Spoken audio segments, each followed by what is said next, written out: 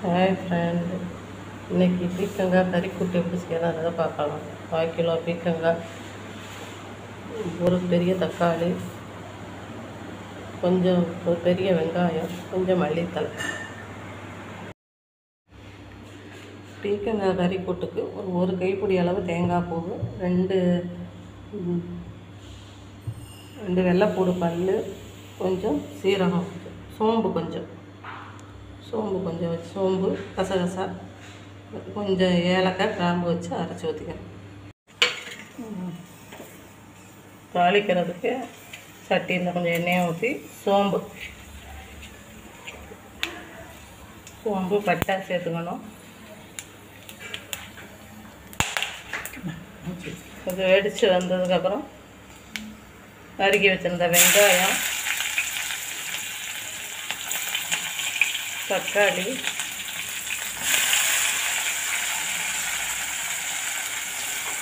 எல்லாம் சேர்த்து நல்லா வதக்கணும்.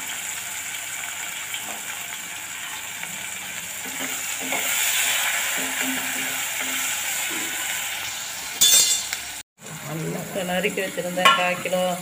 பீக்கங்காயை நல்லா நல்லா வதை வதைக்கணும்.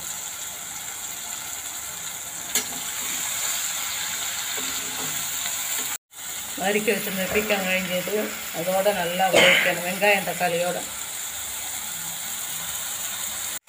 ஒரு ஸ்பூன் மல்லிப்பொடி கால் ஸ்பூன் மிளகாய் பொடி எல்லாம் போட்டு இது தேவையான உப்பையும் சேர்த்து நல்லா வதக்கணும். காய் நல்லா வதங்கி வரணும்.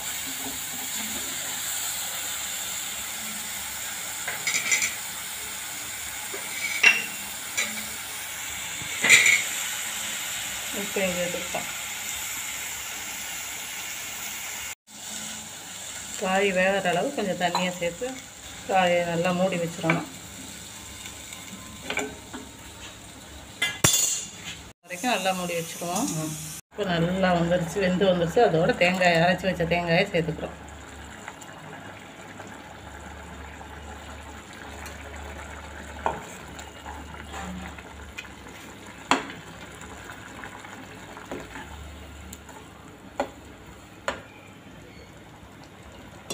நல்லா வெந்து வந்துருச்சு. மல்லித்தலையை போட்டோம்.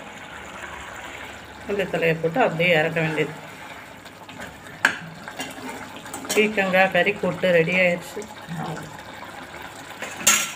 பீக்கங்காய் கறி கூட்டு ரெடி ஆயிடுச்சு இது சாம்பாருக்கு சப்பாத்திக்கு இட்லிக்கு இதுக்கெல்லாம் ரொம்ப நல்லாயிருக்கும் சப்பாத்திக்கு ரொம்ப நல்லாயிருக்கும் இந்த வீடியோ பிடிச்சிருந்தா லைக் பண்ணுங்கள் ஷேர் பண்ணுங்கள் கமெண்ட் பண்ணுங்கள் சப்ஸ்கிரைப் பண்ணுங்கள்